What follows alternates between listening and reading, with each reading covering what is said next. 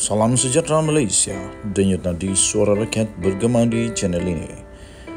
Jangan lupa tekan butang subscribe, like dan share. Malaysia kita punya, cintai Malaysia ku, kita jaga kita.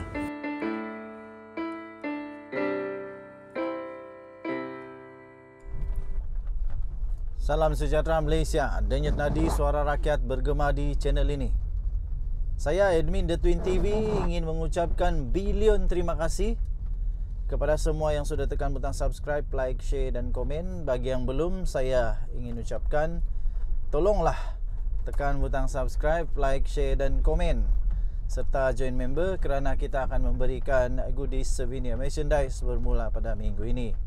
Okey, tuan-tuan dan puan yang dihormati sekalian, saya ingin mengucapkan selamat tahun baru Cina. Gong Xi Fa Choi kepada semua uh, masyarakat Tionghoa, masyarakat Cina di Malaysia. Saya mengucapkan prosperous New Year to all of you dan kita juga mendoakan semoga semua rakan-rakan kita yang berbangsa Tionghoa Cina Uh, dalam keadaan yang sihat walafiat, gembira bersama keluarga menyambut tahun baru Cina ini. Okey, baiklah tuan-tuan dan puan-puan yang dihormati sekalian. Terbaru ini, saya fikir inilah yang dinantikan oleh rakyat. Betul-betul Anwar Ibrahim uh, mengumumkan perkara-perkara yang memang uh, dinantikan oleh rakyat lah. Terbaru ini beliau juga telah mengumumkan bahawa uh, berkenaan dengan tol pula kali ini tuan-tuan dan puan-puan berkenaan dengan tol pula Datuk Seri Anwar Ibrahim sebagai Perdana Menteri Malaysia mengumumkan berita yang amat baik amat gembira kepada semua uh, rakyat negara Malaysia di mana beliau mengumumkan perkara yang memang uh, menggembirakan pada hemat saya ini menggembirakan dan dinantikan oleh seluruh rakyat Malaysia.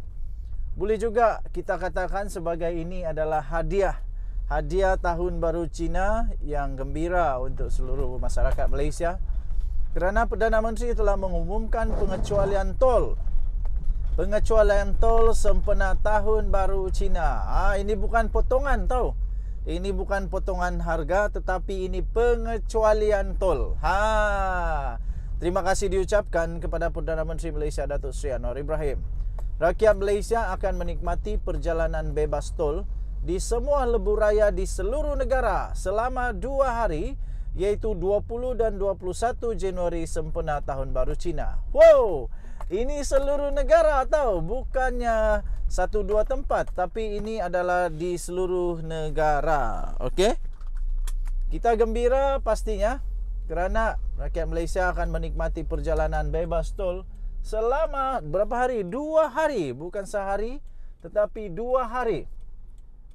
Menurut Perdana Menteri Malaysia, iaitu Datuk Sri Anwar Ibrahim, Kementerian Pengangkutan dan Kerja Raya telah pun membincangkan in, inisiatif itu yang membawa implikasi kewangan sebanyak 40 juta ringgit dengan syarikat konsesi dan berhasil mencapai persetujuan. Wow! 40 juta ringgit tetapi kerajaan sanggup untuk berbincang dengan syarikat konsesi dan akhirnya mendapat persetujuan bahawa selama dua hari rakyat Malaysia tidak perlu membayar uh, tol jalan di seluruh negara.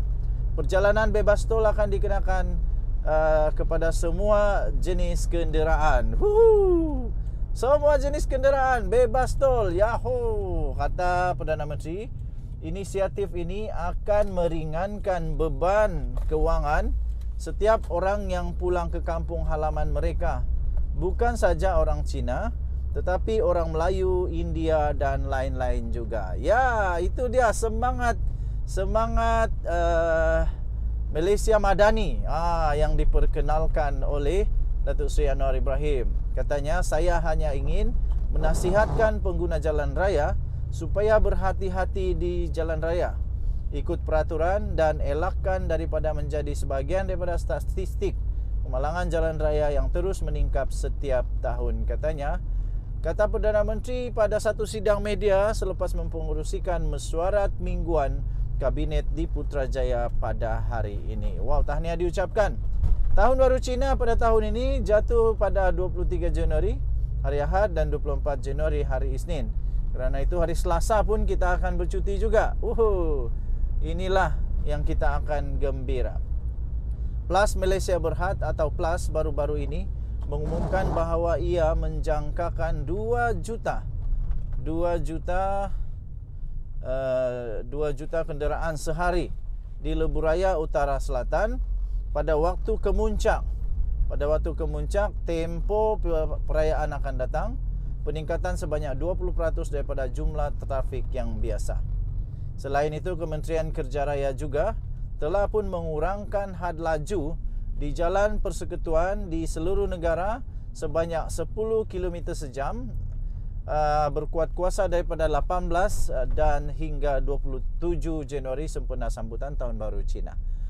Terima kasih diucapkan kepada Perdana Menteri Malaysia yang sentiasa uh, prihatin mendengar keluh kesah rakyat. Sekali lagi tuan-tuan dan puan-puan, saya fikir ini adalah salah satu inisiatif yang telah difikirkan oleh kerajaan untuk menambah baik bantuan kepada rakyat. Okey. Saya tidak pasti selama ini adakah adakah pernah Perdana Menteri-Perdana Menteri selama ini yang mem- membuat pengumuman bebas tol seluruh negara. 100% bebas tol seluruh negara dan semua jenis kenderaan bebas tol. Saya tidak berapa ingat ada atau tiada. Cuma selama ini saya yang saya tahu ada di jalan-jalan tertentu saja yang leburaya-leburaya tertentu saja yang uh, bebas tol di di pengecualian tol dan ada juga yang diberikan diskaun tol dan bukan semua kenderaan pula. Ada beberapa kenderaan saja yang bebas tol. Tapi kali ini Perdana Menteri Malaysia mengumumkan semua jenis kenderaan di semua jalan jalan raya lebuh raya yang ada tol semuanya akan menikmati perjalanan bebas tol wow kita jangkakan saya rasa akan banyak lagi pengumuman-pengumuman daripada Datuk Seri Anwar Ibrahim yang akan membantu rakyat jelata jadi kita doakanlah semoga uh, politik Malaysia akan terus stabil, tiada lagi tumbang menumbang. Kita bagi dulu peluang untuk kerajaan ini berfungsi dengan baik. Nanti selepas 4 tahun mau dekat pilihan raya, ah barulah berhabis.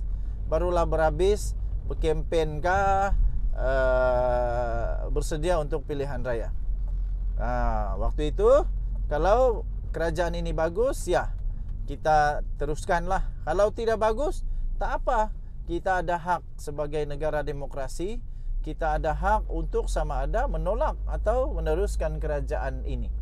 Jadi jangan risau, jangan risau. Kita pasti be apa? bersama-sama dengan kerajaan ini menikmati betapa indahnya, makmurnya kerajaan Malaysia. Denyut nadi suara rakyat bergema di channel ini. Jangan lupa tekan butang subscribe, like dan share. Bye-bye.